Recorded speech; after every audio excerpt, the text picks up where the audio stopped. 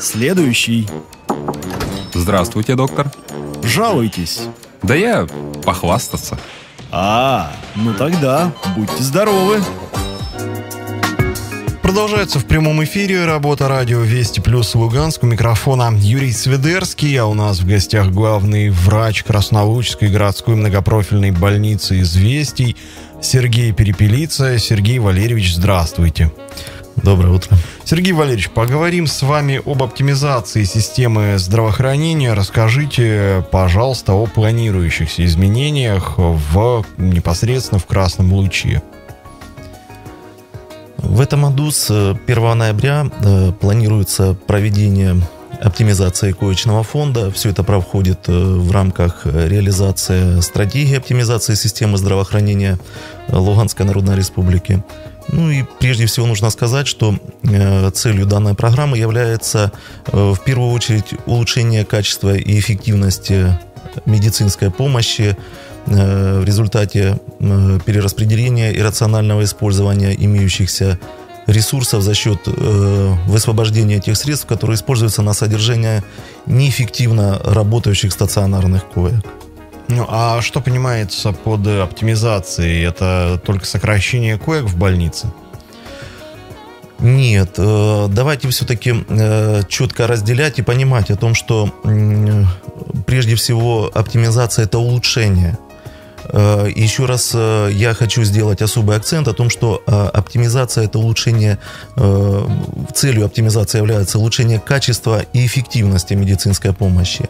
А вот э, сокращение коек, э, это является как раз механизмом э, достижения этого за счет того, что будут высвобождаться денежные средства, имеющиеся, выделяющиеся на содержание этих неработающих, неэффективно работающих, не, невостребованных коек. Сергей Валерьевич, а что явилось причиной проведения оптимизации в красном луче? Э, я думаю, ни для кого не секрет, э, что э, население, в том числе города Красный Луч, уменьшилось по сравнению с довоенными цифрами. Фактическая численность населения уменьшилась, и в том числе и за счет трудовой миграции, ну, главным образом за счет внешнетрудовой миграции в Российскую Федерацию – соответственно, и востребованность э, койки стационарной э, во всех лечебных профилактических учреждениях города уменьшилась. Естественно, снизилась загруженность койки, о чем мы четко видим по нашим статистическим показателям, которые имеют тенденцию к снижению вот уже на протяжении последних трех лет. Ну а когда родилось решение о необходимости проведения оптимизации в здравоохранении? А, я хочу сказать, что э, это решение назревало достаточно давно. И э, еще раз повторюсь, что э, за последние три года мы э, видели уменьшение работы койки. Соответственно, мы не могли оставаться безучастными к этому и оставаться в стороне. Мы понимали о том, что это нерационально используемые средства. Мы понимали о том, что их можно с гораздо больше пользой использовать для других целей. Поэтому кропотливая и э, достаточно скрупулезная работа велась вот уже последний год. Э, все это э, привело к тому, что э, в настоящее время уже про, проходит э, первый этап этого реформирования. Э, Сергей Валерьевич, а есть ли местная особенность в проведении оптимизации именно в вашем городе? Да, э, имеются такие особенности. Э, прежде всего, они связаны с тем, что э, город Красный Луч достаточно некомпактно расположен, имеются отдаленные периферийные участки, и так, например, есть города, которые находятся от административно, они относятся к Красному Лучу, но они находятся на расстоянии 12-15 до 20 километров. Э, поэтому, ну, это, пожалуй, наверное, самая главная особенность э, нашего города. А, звучала мысль о рациональном э, расходовании средств, которые будут сэкономлены в результате оптимизации. А куда конкретно планируется перенаправить эти средства? Планируется, что те средства, которые будут сэкономлены, будут в дальнейшем использованы на модернизацию устаревшего парка лечебно-диагностической аппаратуры – на э, повышение э, заработной платы, каких-то стимулирующих выплат медицинским работникам, а также улучшение медикаментозного обеспечения э, пациентов, ну и, конечно же, на ремонты, на обновление инфраструктуры больниц. Поэтому есть вполне очевидный и понятный перечень первостепенных задач, куда планируется эти средства перенаправить. Ну скажите, все эти перемены как отразятся на населении Красного Луча? Насколько будет сохранена доступность вообще для людей к медицинским услугам? Очень э, правильный вопрос, и я хотел бы э, сделать особый акцент о том, что э, доступность для населения медицинской помощи никаким образом не уменьшится. Еще раз особый акцент на том, что сокращаются только те койки, которые были не востребованы населением, те, которые пустовали, те, которых, на которых простаивали. Э, то есть, э, соответственно, э, неработающие койки и сокращаются. Поэтому я надеюсь, я уверен о том, что никаким образом на доступность медицинской помощи для населения проводимые реформы в худшую сторону не отразятся. А в среднем вот в палате сколько пустующих коек, если там, условно говоря, допустим, там 6 или 8 стоит кровать, и сколько из них постоянно загружены, а сколько нет?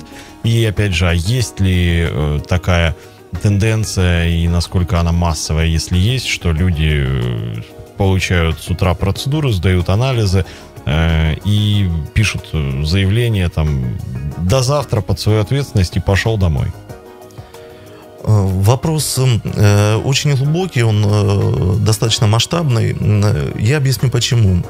Дело в том, что э, мы э, анализируем, э, говорить о том, что в какой-то, во всех, кой, э, во всех палатах э, пустует там одна-две койки, мы не можем. Мы смотрим по профилям э, коек, то есть какие койки достаточно востребованы, например, э, смотрим, что терапевтические койки более востребованы, э, чем, например, какие-то э, узкие там гинекологические или урологические. Э, поэтому э, об этом э, говорить мы можем только в разрезе профиля отделений. В среднем, если мы будем выводить эту цифру, это порядка 10% все-таки коечного фонда простаивает. Отвечая на вторую часть вашего вопроса, хочу сказать о том, что в настоящее время э, широко используется, и эта тенденция всемирная, э, она не только касается э, нашей республики, в том, что сейчас внедряются очень широко стационар-замещающие формы. Это как раз дневные стационары при амбулаторном поликлиническом звене. Это Э, все-таки э, делается акцент э, на амбулаторную поликлиническую форму, когда мы можем проводить не только какие-то инъекционные введения препаратов, которые требуют постоянного присутствия, наблюдения в стационаре, а именно заменяем таблетированными, делаем акцент на какие-то физиопроцедуры. Поэтому э, ситуация, которую вы озвучили, о том, что человек получил лечение и, э, написав расписку, благополучно покинул э, стены отделения, ну вот, она достаточно широка, мы все, все это знают, все с этой проблемой, не только руководители, но и сами врачи сталкиваются, поэтому мы все-таки делаем акцент в дальнейшем на э, том, что э, первичное э, звено будет э, лечить подавляющее большинство э, пациентов. Ну, в конце концов, спать дома удобнее, спать дома хотят все. Абсолютно. Верно. Независимо от диагноза. А, э, Сергей Валерьевич, мы поговорили о том, как это на людях отразится процесс оптимизации, а на врачах, медсестрах, младших медицинских э, работников. Э, не лишатся ли люди работы? Да, очень животрепещущий вопрос. И когда только рождалась мысль об этом, прежде всего, во главу угла ставились интересы сотрудников то есть населения пациентов и сотрудников. А, я хочу сказать, то, что касается нашего города, то ни один э, врач, э, медсестра, э, младший медицинский работник, никто не потеряет работу. Все останутся на своих местах. Есть нюансы, когда Э, меняется, э, может быть, отделение, может быть, э, немного характер работы, но все остаются с работой. То есть это не будет для них ни сокращения, ни выставления за дверь. Ну а вот вы уже сказали такое слово, как периферия. Планируется ли сокращение или закрытие стационарных отделений больниц, в особенности вот на этих отдаленных территориях? Эм, вся имеющаяся лечебная сеть на сегодняшний день будет сохранена в э, полном объеме. То есть э, все отделения, которые функционируют э, в отдаленных, как уже я сегодня упоминал, городах и поселках, они тоже будут сохранены будут несколько уменьшаться их коечный фонд, это все объективно, абсолютно но все э, эти отделения все будут сохранены. И э, еще раз э, повторюсь о том, что доступность для этих людей, в том числе и стационарной медицинской помощи, будет сохранена. Ну и последний, наверное, вопрос о будущем. Какими вы видите отдаленные перспективы проводимых реформ в сфере здравоохранения в городе Красный Луч? Мы э, четко понимаем э, цели проводимых реформ, мы понимаем задачи, которые перед нами э, поставлены, мы понимаем механизмы их реализации, ну, соответственно, мы себе представляем и итоги проводимых реформ. А, я уже сегодня об этом говорил и хочу сказать еще, что все-таки а, те ресурсы, которые имеются на здравоохранение, они достаточно значительные, но а, при этом они не безграничны. Поэтому вот рационально использовать каждую копейку бюджетных ассигнований это первоочередная задача. Я думаю, что в результате этих реформ, и я уверен, что так и будет, э, все-таки будет э, значи, э, значительно улучшена и материальное оснащение э, отделений, в том числе и медицинская техника, и последняя медицинская техника, та, которая значительно уже устарела, и имеет э, и технический износ, и морально устарела, и технически. Я э, думаю, что будут и ремонты, в том числе и капитальные, которые уже долгие-долгие годы не проводились, и которые требовали, чтобы так действительно было.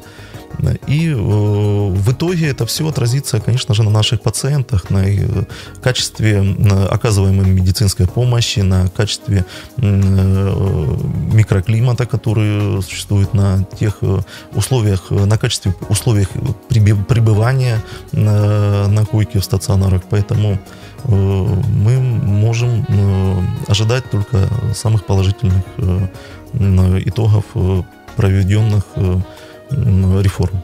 В конце концов, э, больница известий, шахты известий, все это относившееся к газете, да, когда-то строилось да. с большими-большими масштабами, с большим размахом.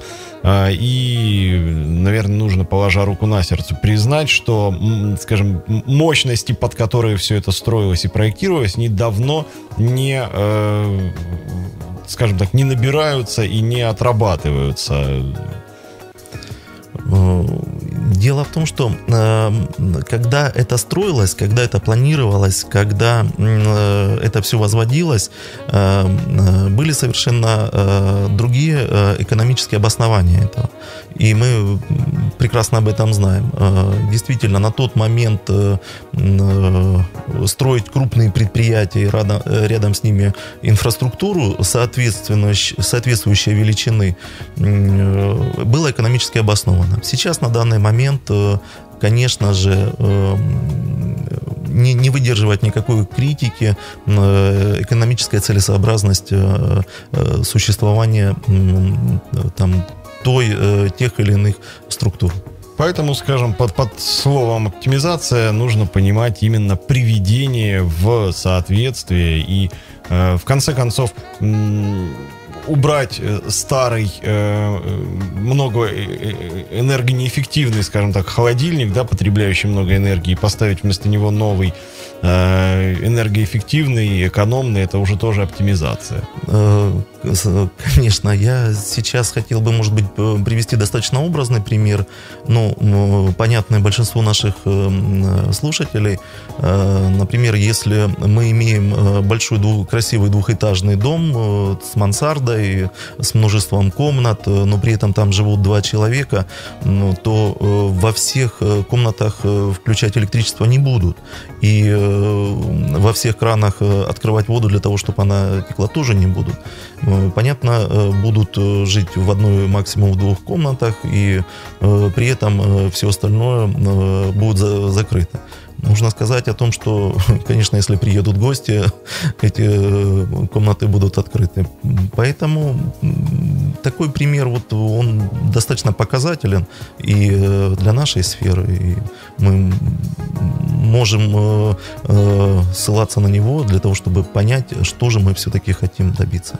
Я благодарю вас за информацию и за э, точку зрения, за мнение. Напомню, что у нас в гостях был главный врач Краснолучской городской многопрофильной больницы «Известий» Сергей Перепелица. Приходите к нам еще, а вы, друзья, Спасибо. оставайтесь на нашей частоте.